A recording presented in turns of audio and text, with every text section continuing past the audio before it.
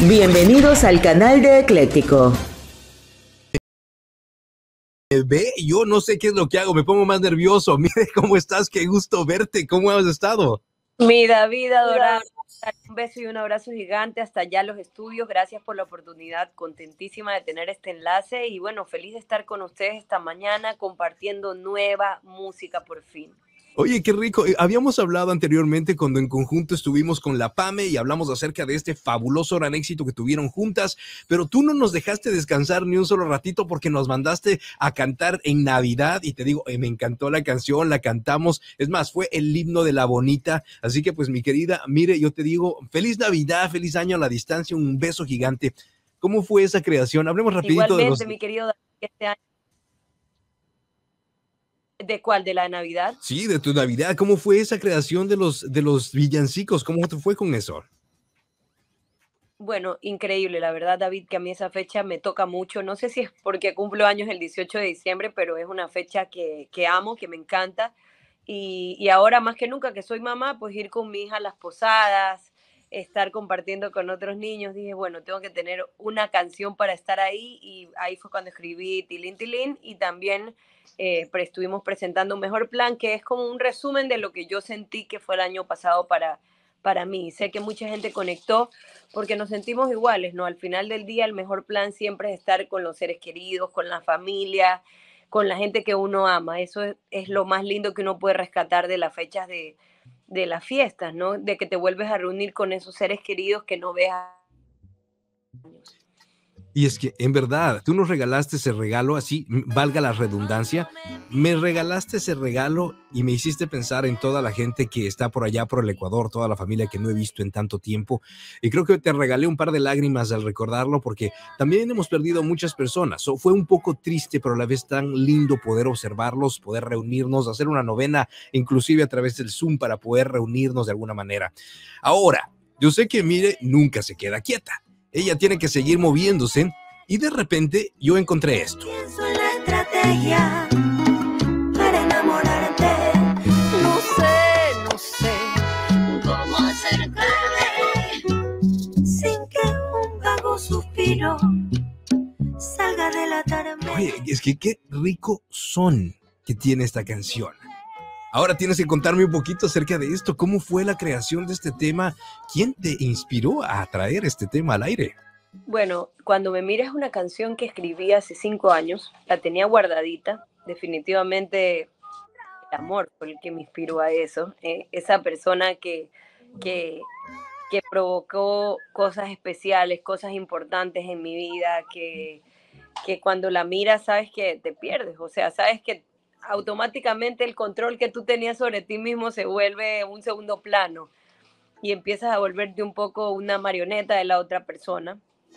Está feo que lo diga así, pero es la realidad. Cuando nos enamoramos todos nos ponemos tontos, todos nos cursis, todos nos ponemos a la espera de, de, satisfacer al otro y a ponernos a nosotros en segundo plano. Entonces, escribí esta canción pensando en eso, sintiendo eso, y el maestro Alejandro Cañote es quien me acompaña en la parte de la composición de la parte musical, ya cuando rearmonizamos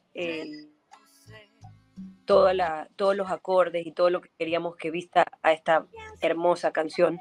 La tuve guardada tanto tiempo porque no sentía que era el momento para que vea la luz y en pandemia la empezamos a producir junto a Joshua Budelle y Marcel Ferrer, el productor, y Marcel interviene en arreglos junto con mi persona en, en la canción. Entonces dijimos, no, ya no puede seguir guardada, ya tiene que conocer la luz y la gente tiene que oírla.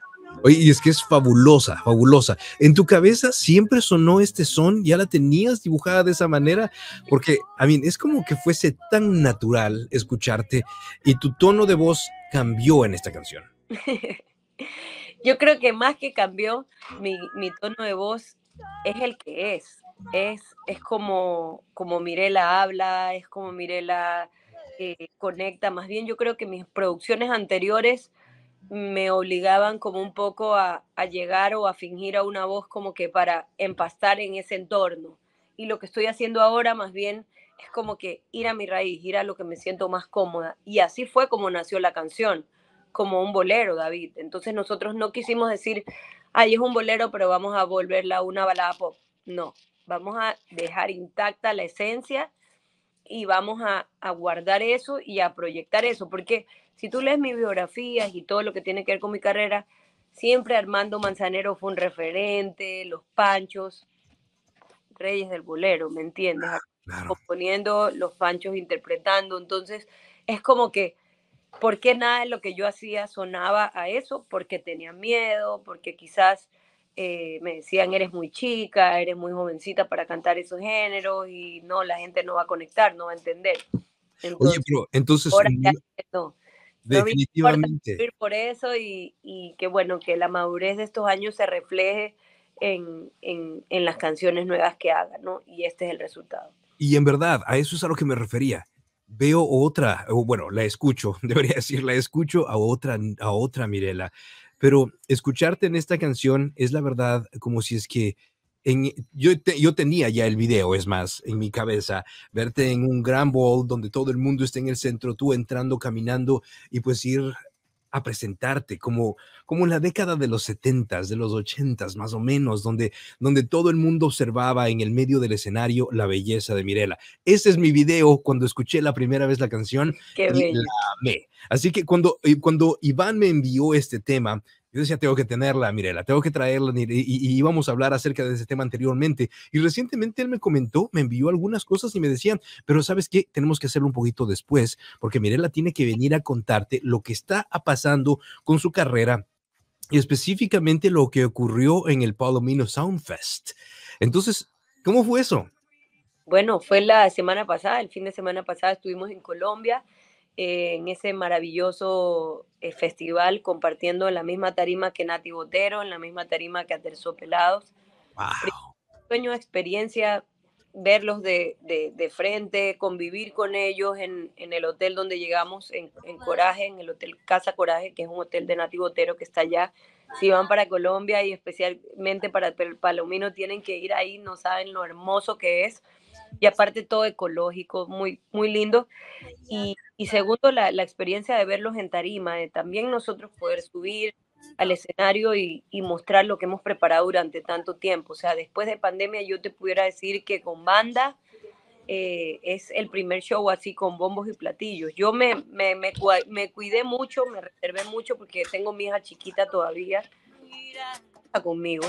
Entonces, eh, no, no, quería presentarme antes. La verdad, he estado como bastante conservadora en ese, en ese punto porque sí, la pandemia sigue, hay que estar con bien alerta. O sea, si bien es cierto ahora los casos se dan como gripes y como cosas más leves, igual no hay que confiarse, ¿no? Entonces, este fue como mi comeback y fue increíble. La verdad que hermoso escenario público. No te puedo ni explicar ese público lo increíble que fue. O sea, en la primera canción la gente ya estaba bailando. Nosotros en la tarima éramos como que, wow, o sea, todo valió la pena. ¿Cuál es la canción que más recibe, por ejemplo, el público colombiano y saben ya de por sí de ti? Bueno, yo siento que la corriente definitivamente tiene algo que a la gente la vuelve loca. Y, y es con la canción que cerramos el show y el público reaccionó muy bien. La verdad te digo, David, yo me sorprendí porque con todas las canciones la gente era como que súper receptiva. Tú sabes que a veces cuando un artista nuevo va a otro país como que tiene que romper el hielo y tiene que ir ganándose la confianza del público, pero aquí fue como que con todo. O sea, la gente desde la primera canción ya estaba vibrando, ya estaba gozando, ya estaba como que disfrutándose el momento y es como que al final del día lo que a nosotros como como músicos nos llena y nos hace sentir que vamos por buen camino, ¿no? Fantástico. Te vimos por acá igualmente. Estuviste en Miami en los últimos meses del 2021. ya todavía estoy atrasado. Ya estamos, hermano. Yo no sé, que se me está perdiendo ese año. Ese año se me perdió, la verdad. Pero sí, en el 2021 estuviste por acá. Te vi muy activa en las redes sociales. Estuviste eh, en el medio artístico también. Te veía por allá en medio de los Grammys. Uh, ¿Cómo se sintió esa sensación de estar, obviamente? Tú eres una gran artista de por sí. ¿Cómo se siente estar en tu ambiente? Bueno, increíble David porque conoces a mucha gente importante, específicamente en, en, los Billboard que fueron aquí en Miami. Estuvimos con Iván haciendo relaciones públicas, conectando con gente y más que nada como preparando el terreno para lo que vamos a seguir lanzando este año. Entonces es chévere porque uno aprende de voz de otros artistas en, en los paneles o de voz de manager o de gente de la industria cómo se está moviendo todo. Nosotros como artistas independientes y como un equipo pequeño que tenemos junto a Iván y otras personas que nos colaboran en otros países como Colombia, México, Ecuador, eh, es como que vamos a aprender y vamos a nutrirnos siempre de eso de ahí. Entonces fue muy importante estar y así también la gente te tiene presente. Tu cara se le hace presente, la fusión que representas, lo que defiendes, es como que, ah, yo sí la conozco, yo sí la he visto, pa. Y compartes, compartes de una manera súper cercana con esos artistas y eso te permite que más adelante puedas hacer otros acuerdos como quizás un dúo o en esa semana también me reuní con bastante gente para componer y quizás escribir para otros artistas, que también es uno de mis objetivos. Entonces, es muy bonito y es muy enriquecedor. Fabuloso. Yo debo felicitarte como siempre porque me encanta tu música. Yo te lo dije anteriormente, amo tu forma de presentarte y sobre todo la frescura que presentas antes eh, a través del micrófono, a través de tus canciones, pero a través de verte en la cámara porque me, me encanta, es como tenerte aquí en mi casa. Ahora, esto de la locura es otra cosa. Llevo varios días ¿Cómo vino esta locura? ¿Cuándo ya le, ya le lanzaste? ¿Ya está al aire? ¿Cómo estamos en esto? Iván apenas te la te dijo, me, dijo, tienes que poner este material. Entonces ya está sonando en La Bonita, ya tienes lugar en La Bonita como siempre, pero ¿de dónde viene? ¿Desde hace qué tiempo la tenías y cómo es que estamos trabajando con ella? Bueno, Locura sí es 100% una canción pandémica. Em, está producida por Marcel Ferrer con arreglos de Joshua y de mi persona también. Y es una canción que es como el lado B de Cuando me miras, porque entra en, ese, en ese contexto, es, eh, tiene influencias de bachata, es mucho más rítmica, pero si tú la escuchas, eh, la parte lírica de la canción, la parte literal de lo que dice la es como que llevo muchos días buscando las palabras para decirte lo que siento y no sé cómo afrontar el hecho de que cuando tú me miras me robas la calma, todas me desarmas, me traes de cabeza, ay, estoy entrando a la locura y me gusta, o sea, y me gusta esta, esta sensación de perderme porque lo siento contigo. Entonces, es una canción que lanzamos a finales del año pasado. El año pasado nosotros tuvimos un plan de lanzar ocho sencillos y gracias a Dios de mayo a diciembre lo pudimos cumplir y, la gente está respondiendo muy bien, no solamente en Ecuador, sino también en Colombia, en México, donde ya hemos tenido acercamiento de entrevistas. Aún no tiene video, el video Dios mediante lo vamos a estar lanzando el próximo mes, en febrero, de regalo del amor y la amistad. Y, estoy muy contenta porque la canción, cada una se gana un, un puesto diferente. O sea, cada canción tiene su propio lugar, su propia historia, su propio público, gente que se siente identificada, su propia audiencia. Y es hermoso porque en el show funciona muy bien. O sea, yo veo la reacción de la gente con las canciones en vivo y ahí es donde digo, wow, definitivamente esta canción tiene un propósito y lo está cumpliendo, ¿no? Que es lo importante. Qué bonito. Y es que yo creo que como tú dices, para febrero tenemos el himno del amor porque es exactamente lo que a todo el mundo nos ocurre, ¿no? Me traes de cabeza, solamente con que me miras, me traes ya de cabeza, estoy bordeando a la locura. completamente nos volvemos parte de la otra persona, o mejor dicho, la otra persona es la que se encarga de decirnos de dónde tenemos que ir. Y así es el verdadero amor. Mi querida, mire, yo sé que te dije 15 minutos exactamente, yo te agradezco mucho por darme la oportunidad de entrar en tu casa y de poder venir a la mía. Siéntete segura de que aquí tienes ah, lugar propio, no ni siquiera vienes a la puerta y le dices, así que vienes para acá sin ningún problema. Te envío un beso gigante, cuídate muchísimo, pórtate súper mal y siguen regalando tu música porque eso es lo que la verdad yo añoro día a día, escuchar más de Mireya César. Y atento, atento David, porque el 21 de enero salimos con nuevo sencillo, esto no para. Esta vez de la mano junto a Sara Antaneda, una gran cantautora ecuatoriana que está radicada en New York, que ha estado en muchísimas listas virales de plataformas digitales, así que me siento muy contenta. Ella tiene una voz espectacular.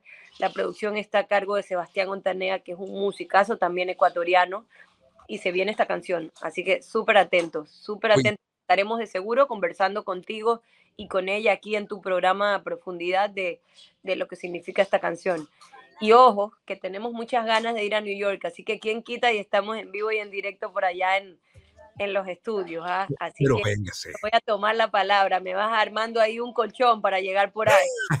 Cuarto propio, no te preocupes. Mi Ay. querida, mire, te espero por acá. Éxitos, más éxitos y sí, comprometida para que ya le traigas directamente a, a los dos artistas. Me gustaría ver cómo es el productor también con, con ella y que armemos un grupo aquí.